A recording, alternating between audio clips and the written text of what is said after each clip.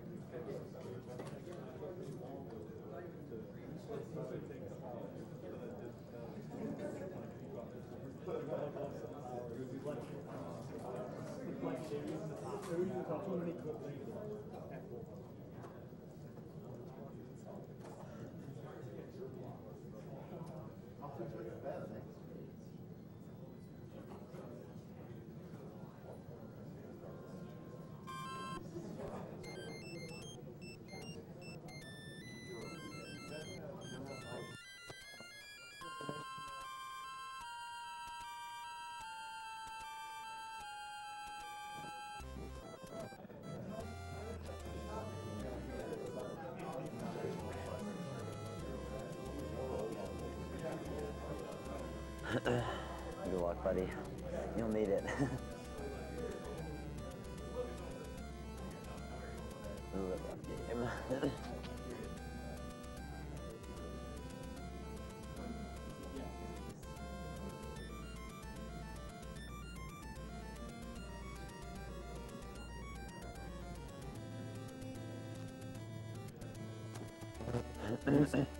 Is Bonnie around? I'm here later for the blob. Oh, really?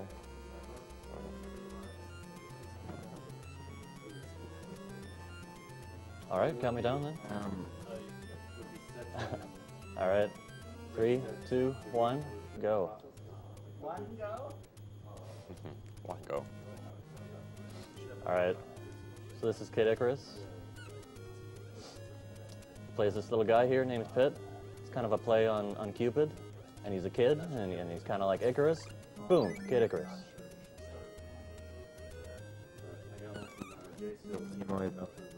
So this first level is pretty straightforward. Taking a lot of hits doesn't really matter. Health becomes much more important later on, though.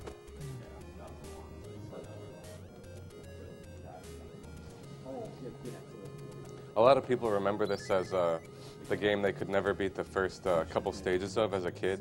It's really, really brutal, um, just because it's naturally just a uh, vertical game and uh, with all these precise jumps, and it's really easy to die, especially starting uh, around wor- one, two, where ice is introduced and you, can- you can just go flying off without ever expecting to.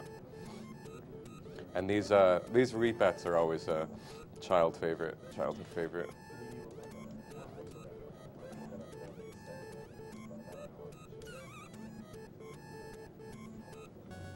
One one day. One, one down. All right, you want to explain, explain the, the Yeah, sure. stuff?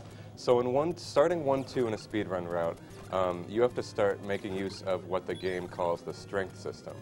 Uh, the way it works is, in several stages, there's a door in which Zeus appears, and by the time you get to him, you need to accumulate 10,000 points. Uh, this is the first level where a Zeus door is. Well, there's technically one and one one, but um, you can't make use of that on your first uh, loop through the game. Basically, the way you can get points. Uh, the, the best way to get points is by killing enemies and collecting their precious, precious hearts. Uh, the ones, when you see uh, Jorf killing these smaller enemies, they'll be dropping small hearts. There are some which drop medium, kind of half hearts, and there are some which drop the big hearts. Those uh, are worth 100, 300, and 500 points respectively, and killing the enemies as well is worth the, that equal amount that their heart is worth. Um, by the time you, you get to Zeus, you need 10,000 points. In this stage, he's at the very end of the level, so you do have time, But naturally, in a speed run, you want to try and optimize it as much as possible, and Jorf's doing a great job on that. Um, like those lines of four, you really want to try and uh, shoot down as quickly as possible, and preferably in the same exact position, so you can just collect all their stuff with one solid jump. We got a weird elevator here. Yeah. The game is actually kind of uh, glitchy in a way, and uh, it'll do things that, like, no matter how many times you play the game, it'll do things you've never ever seen before.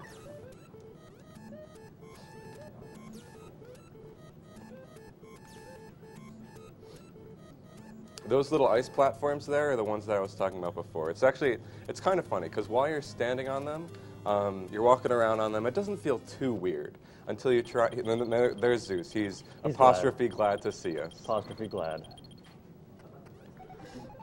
Um, but yeah, the ice in this game is funny because when you jump off it, you basically can't change your jump uh, after you jump off of it. This guy's fake. Don't worry about him. Just stuck right under him. Yeah. Um, in a speed run, um, it actually kind of, in a way, well, sort of gets uh, easier as you go on, just in terms of health usage. And the reason for that is, while there's that separate strength system we talked about, and the idea of strength is that you start with one strength, and each of those upgrades Zeus gives you makes your arrows do twice as much damage. So Jorf just got this, um, he just got uh, upgraded to two strength, so now his arrows do two instead of one. And later on in, um, uh, later on in the game, he'll be getting, uh, in 2-1, he'll be 2-1, getting yeah. the, the third strength up, or the second strength upgrade to go to three strength. It can go up to five. Five. All right, so I don't know what's going on in this world, but there's a bunch of birthday candles. So if it's anybody's birthday out there, these are for you. Um, one of the reasons World 1 is so hard is just because you are so limited on health. Um, the way you upgrade your health in this game is you have to, again, kill a bunch of enemies, and every, so, every certain amount of points, um, you'll get another kind of health increase. Like right now, he's got uh, seven, seven health max, and once he gets to the next level, which should be around maybe early World 2 in a speedrun, um, he'll double that size, and uh, he'll be up to 15 health. But uh, in World One, your the way you increase your health is is two ways, really, mainly by um, either collecting these chalices littered throughout the level, or dying and refreshing your health that way. Dying is, is sometimes a good option, but in uh, World One, you really um, don't want to try try not to death abuse until one four if it's needed. Um, and there's no health uh, refresh between one two and two one. So in a perfect world, um, you're navigating these really, really hard stages, um, trying to dodge as much as possible. And a lot of these enemies deal, in the early stages um, deal between one and two damage. So that can potentially only be like four hits until you're dead.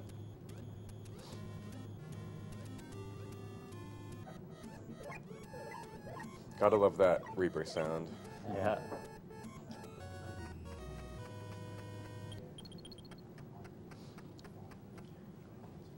Bit, there's a big sequence right coming up in this level that he's going to try. Uh, it might take him several tries to get it, but you have to kind of glitch into a corner and then jump all in the corner. He's going to death abuse because he's low on health. Yeah, I don't feel comfortable. Half health. I'm finished though. Yeah, you also need health to do the boss at the end of this um, stage. Like, you need at least one health to do it, like, any quickly at all.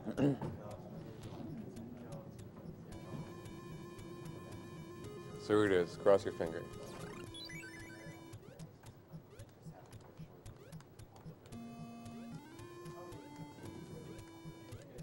Ah, so close.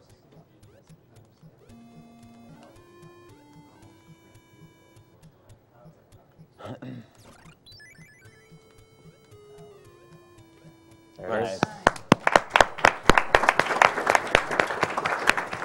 I was still faster than going the Yeah. normal way. Way This- Saved faster. like 40 seconds or something. At least. Every fourth stage of uh, every world is this gigantic maze of a fortress. And so typically in a, in a normal route, you'd have to navigate around. So here's the first boss.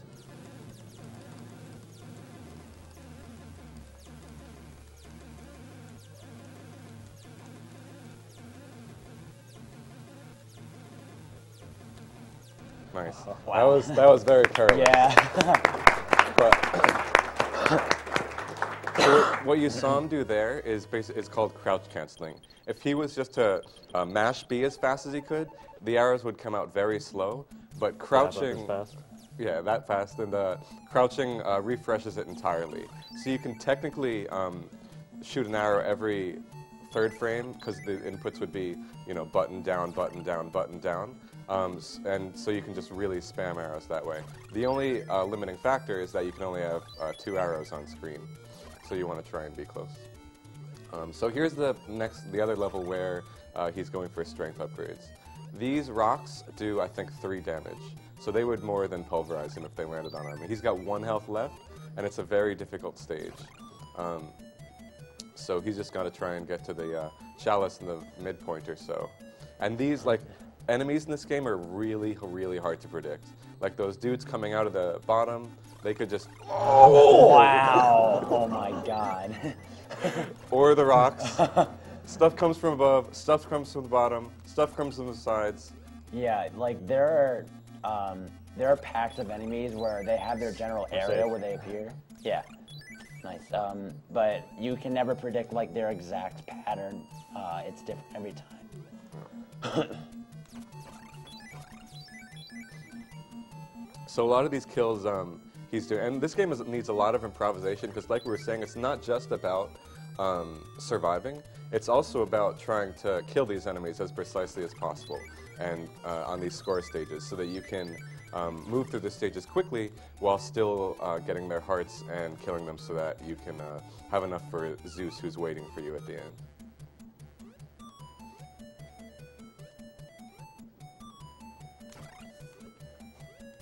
That was a good time to stop commentary. That little ditty was perfect.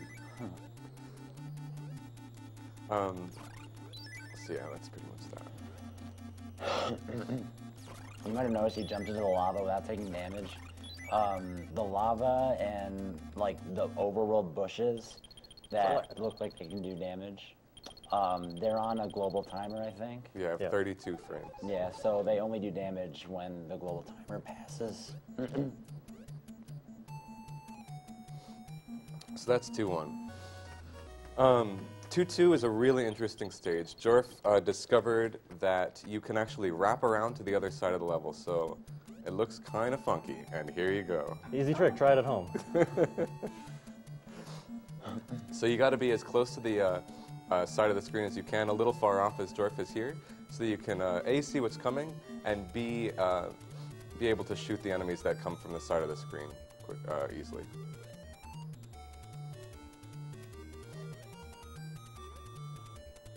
Yeah, this level's just a bunch of concentration and memorization. Um, the reason for this isn't just because it's hilarious. it's actually, uh, um, it's mostly to uh, make the platforms that appear throughout the rest of the level. Yeah, along with these guys, they won't be able to hit me over here. Yeah. Yeah, since he's so far right, that guy won't be able to touch him. Um, one interesting thing about this game uh, that we actually just found, uh, well, a few months ago, but recently in terms of the Kid Icarus uh, timeline, is that uh, these uh, groups of four enemies share the same RAM addresses as the platforms. So you can see here there's one dude left. At some point in these platforms, he'll despawn so that he can uh, make, m- make room in the memory for one of the platforms. Uh, what the consequence of that is that you can see he's kind of bobbing up and down. You can see he disappeared there. You can see uh, the enemy was bobbing up and down in the air. When his appropriate platform appears, that platform is going to remember his speed that the enemy last left with. So while the platform always spawns at the same position, um, if the enemy was last going down when the platform appears, the platform is going to um, go down for a little bit before going up. And if the enemy was going up, the platform will be straight going up. And the same is true for when a platform replaces another platform. For example, that last platform we saw on the stage um, went down for a little bit before going up. And that's because it's uh, the, the RAM address of the thing it replaced was most recently going down. 2-3 is one hard stage because Yeah. um, not you're very limited on health. You're very limited on health. Thanks. um, you're very limited on health, so you want to try and start with a full full bar, and uh, even then, throughout the whole stage, it's it's going to be very precise. So Jorf again does another um, screen wrap here for the purposes of the platforms coming up, and these platform jumps are a lot more precise than what we saw in the previous level two too. Um, and he's got to make three very precise jumps. First of which is right. Nice, you're good. Nice. There are going to be two coming up as well, um, which uh, just add to the difficulty of the stage, in addition to all the enemies that are just trying to get you. Um, he does very precise jumps through that lava again because if he just wadded through it, then um, it, he would be taking damage every 32 frames. So it's kind of a luck thing just in terms of that uh, you're jumping through it as, mu- as much as you can, and sometimes when you land in it, it'll hit you um, because you're on that 32 frame uh, interval, and sometimes it won't. Um, so this part is like Tutu in that you're trying to be as far to the right of the screen as possible to uh, dodge those do the water flying watermelons, as Jorf calls them, uh, coming at you. And this is really the hardest part of the stage because it's two of those jumps in succession. No. Okay, fair enough. Um, so in- Jorf is going to do another uh, screen wrap, which he found the positioning for that one as well. Um, but yeah, those are extremely difficult, and worse yet, uh, those really um, are affected by that those flying watermelons flying around. Because if you, in a, you, there can be a worst case scenario where the nice, the enemy um, is flying up when the platform appears, and so the platform immediately spawns just going straight up, and you just can't make it. Um, those banditos that are appearing as uh, from before, there's a lot of stuff in this game which you actually never see in the speedruns, such as um, power-up rooms where you can survive harsh training and uh, collect a sweet reward. And uh, if you do that, like if you do that, it's it's this pretty cool upgrade usually, and um, you can go through the rest of the game, and it's it's kind of one of the nicer ways the uh, the game give where the game gives you something to try and make up for its extreme difficulty playing through. Really nice. That was a really good two three. So that's that.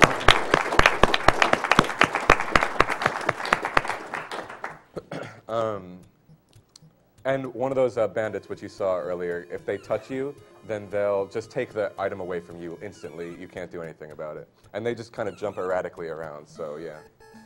Um, so Jorf actually needs a lot of health for this uh, stage potentially, because he's going to be doing he's going to be doing another trick he found, and which actually isn't in the latest implementation of the TAS, in which um, he does this very interesting zip.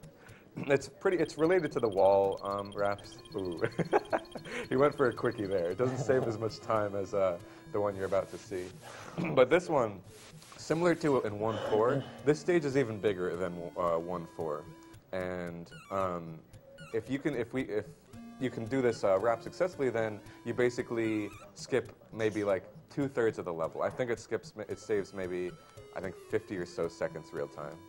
Nice. is. That's it.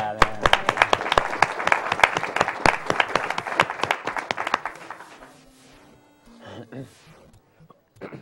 This boss is honestly uh, one of my favorite bosses in an NES game. And the reason for that is he, he has a very deterministic pattern, but he's still extremely difficult. Because um, you need to spam arrows like you did on 1-4, but he's jumping up and down and up and down in that deterministic and pattern. So you need to be crouch canceling in the air like crazy. Um, and you know exactly where he's going to be, but it's still extremely difficult because you're jumping and you're just hitting B down, B down, B down, B down. It's really hard. Also, he's got an extremely satisfying um, damage sound.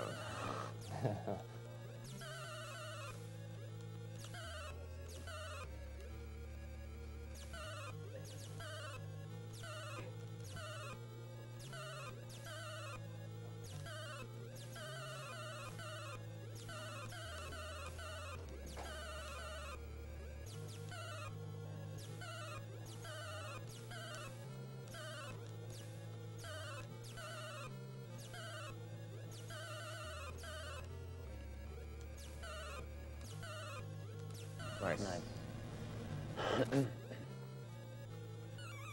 I'm dead. I'm actually dead. Oh, I was afraid of that. So what what is being attempted there is the health glitch.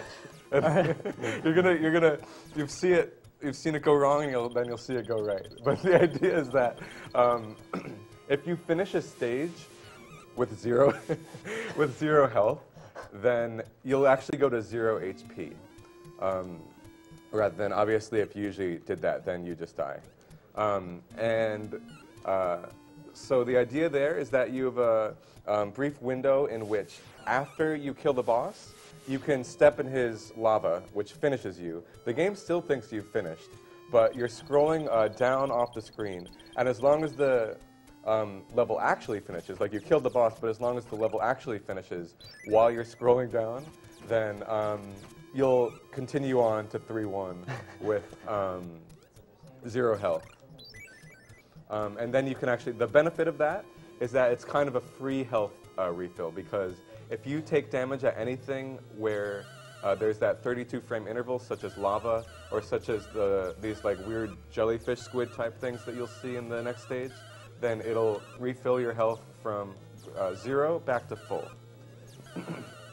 the dangerous thing, of course, is that if you take damage from something not on that 32 frame interval, even if it only does one health, then um, it'll kill you, like anything else would. So you have to navigate the early parts of uh, 3-1 with a lot of precision or else you'll die. And there are a lot of snakes and a lot of uh, flying loopy things, I think they're called Collins, um, that will just, just want to obliterate you.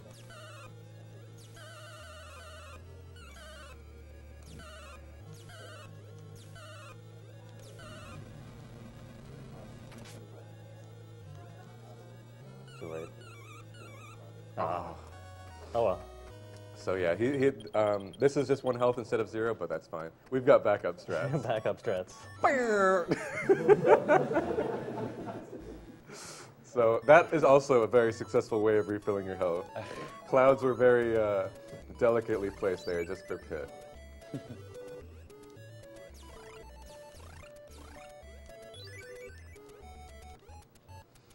Um, so in terms of speedrun routing, um, we have been trying to figure out whether uh, the three strength which we've currently been using, or getting a fourth bit of strength in this stage would be beneficial. Um, three strength is definitely, it's, it's honestly, it's really, really close. And it, it's almost um, up to player preference. Um, three strength for sure is a lot more marathon safe.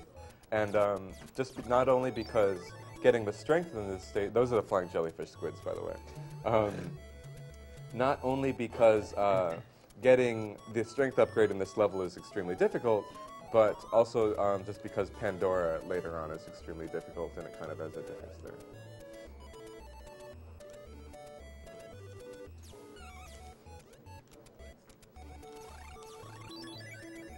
The idea of this game is that um, you're, like Jorf said, uh, you're this uh, kid angel pit who's uh, going up to navigating basically um, Angel Land, I think it's called.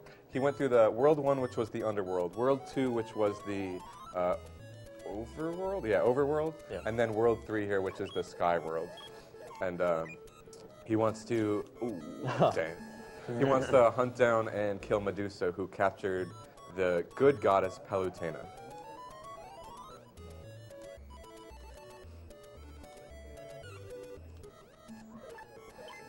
So yeah, those little flying jellyfish things, like I said, are on the 32 frame timer. So sometimes you'll just unexpectedly, um, or you'll sometimes take damage from them, sometimes you won't. The game gets really mean at this point with like Reapers on one tile platforms and like Reapettes spawning everywhere. You're going to be seeing a very familiar enemy coming up in a moment here. Oh no, I'm a weakling.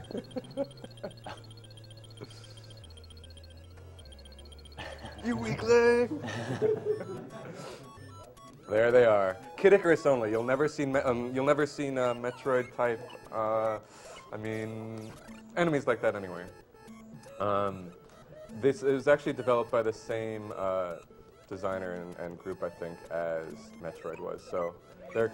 It's a actually, I think it's the exact same game engine. yeah, it is.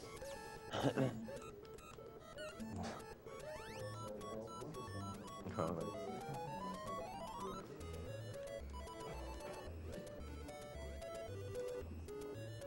Angry, angry octopi. They're so angry. Oh, they're so fast.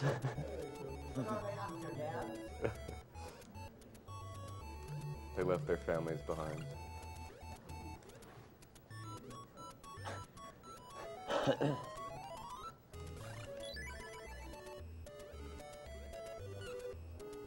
nice, so that was 3 2. Um, 3 3 has a very interesting application of that kind of enemy and uh, platform sharing the same uh, RAM address thing. Those, another death abuse. Um, those four Metroids um, because it's a group of four, this is a, another cycle. The beginning part of this level is a very cycle-based um, section. And so he's manipulating those guys. Nice. Since they uh, both died when he uh, went to the right, that first elevator isn't exactly the position he wanted, and so is this one. Um, so he was able to make that jump without waiting for the cycle. So it all like you kind of have to kill enemies in such a way where the uh, platforms are beneficial to you. If you're questioning why he's dying at the beginning of like every stage, trying to actually go through these stages as fast as possible without getting hit is like incredibly hard. Yeah. So generally, it's faster to kill yourself rather than like try and skirt around a bunch of enemies throughout the stage. Yeah. um, there is one more way of refilling your health I forgot to mention. There are these, I mean, you've been seeing throughout the game all these little side rooms which are useless. One which Zeus appeared, one which uh, Jorf got called a weakling. Um, there are shops. Um, there are these ones where like there are a million pots and you just have to kind of guess which one um, has an item you want, or you have to do them in order to get the item at the end of the sequence uh, of thingies. And um, in some of the rooms, there are these yellow health pools, which uh, refill your health extremely. That's some lag right there. Oh yeah, it's the lag bomb. Um, there are some rooms which uh, fill your health extremely slowly. I think it's that same 32 frame uh, thing, like one health every 32 frames. And so uh, it's better to just die. Eggplant. Um, so Jorf's going for, this is probably, uh, along with 2-3, this is probably the hardest stage in the game. Um, it's just very, very long and difficult, and then the boss at the end is extremely random. Um, so you really just want to come in with uh, full health, or the, the two bars of health that dying gives you. Uh, these eggplant wizards are definitely another childhood favorite. Um, if you get hit by them, as Jorf did uh, purposely a, a minute ago, then they turn you into an eggplant. And the only way to get out of that eggplant mode is to find a uh, nurse somewhere in this gigantic stage, uh, which is, especially in this stage, extremely out of the way of the speedrun route. Um, so rather than that, you just want to not become.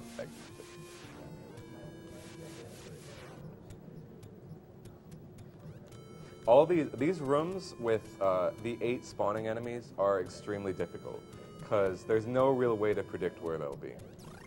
So sometimes, and the the red ones, uh, the red like spinning deals there do three damage. The blue ones do two. And like I, like uh, I said before, Jorf only has 15 health to go off of, and Pandora I think does five. So it's really difficult if you go in with a low amount of health. He has been uh, saving his hearts. The hearts, which you're feasting on by uh, killing enemies, not only give you that strength upgrade when you go into Zeus's room, but it's also the actually the form of currency of the game. um, the form of currency of the game, and uh, you have to. I think when you play this through normal, you just have to farm, farm, farm. Not only for currency, but also for uh, strength and for points to increase your health bar. Um, and so the we've we've leveled out this, or we've uh, routed out the hearts route so that you can definitely get that. Nice, you got the zip. Gave him a surprise. And Yeah, here's all right. Pandora. So here's Pandora. He's, he's, he's like a he's like one of those DVD player logos that just bounces around the screen randomly. You never know where he's going. It, it was that? health. Oh yeah, health. Yeah.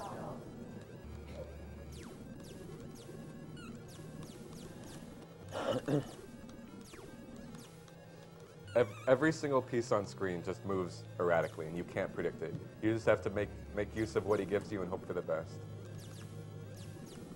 Like you really faked out Jorf real good there just doing a total 180. and one more hit will kill balls. So you just have to like, you really just have to hope for the best.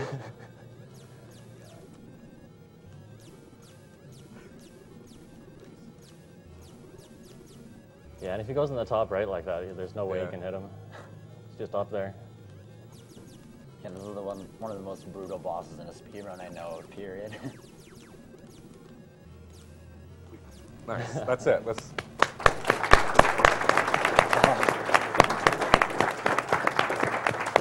And he got the, sh- the little clone there as well. Yeah. All right, we're home free now. Yeah.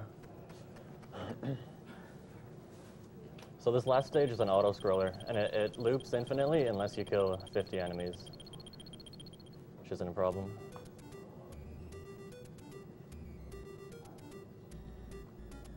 Fun uh, note that in the Japanese version, this stage is actually not an auto scroller. You actually move freely through the level.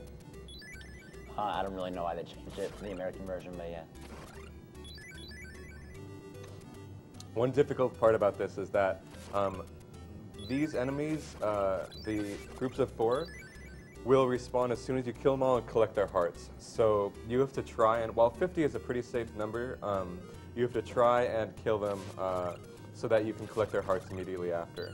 And uh, you can only go so high on the screen, so if an enemy is too high when you kill it, you, you just have to wait for the heart to either despawn or fly off screen.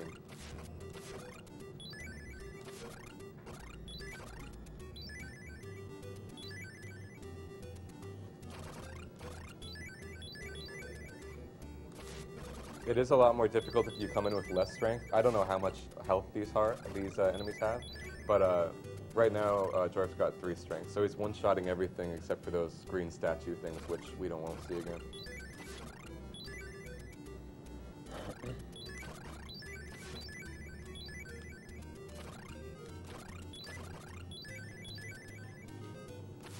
But I mean, I think he's probably already there even, so.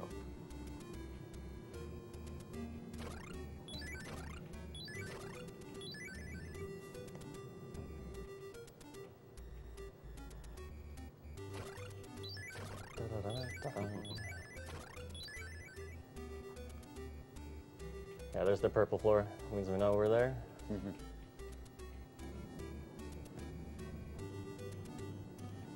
And here's the final boss, Medusa, which Pit has strived to defeat.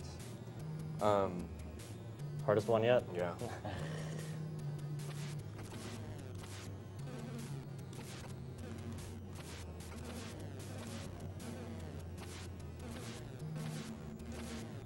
Not even his left, using his left hand. Not even looking.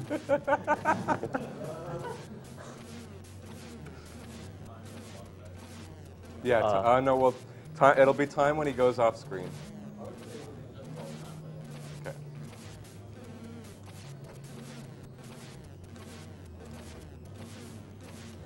Uh, NES bosses. Yeah, so after three really difficult bosses, this is what Medusa has in store for us. And it'll be in a minute. You got it. Time. That's it, time. All right. Good stuff.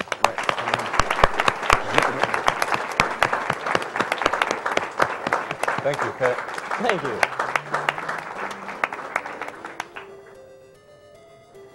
So uh, yeah, as as a tribute to your uh, hard adventure, Palutena is really thankful, and so she gives you a farmer's hat and sickle.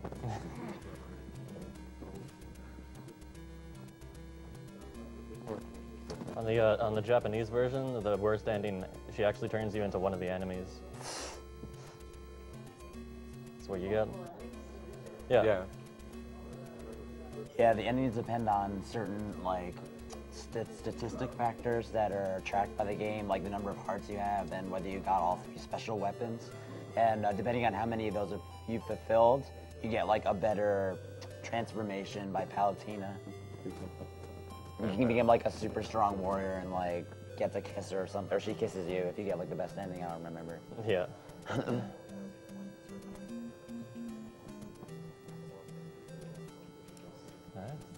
Yeah, good job, man. Stuff. Yeah. So I think we're all set, right? Yeah. Yep. Well done, Jordan. streamers. Streamers.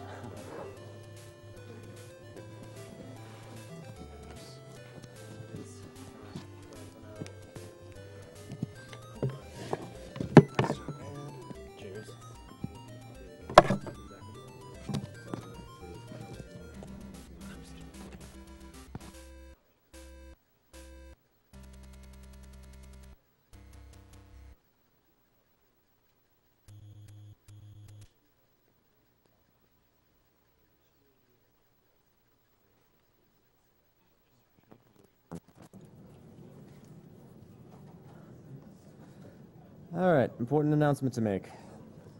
Uh, the website, gamesdonequick.com, will come back up gradually around the world as the site's URL is broadcast. DNS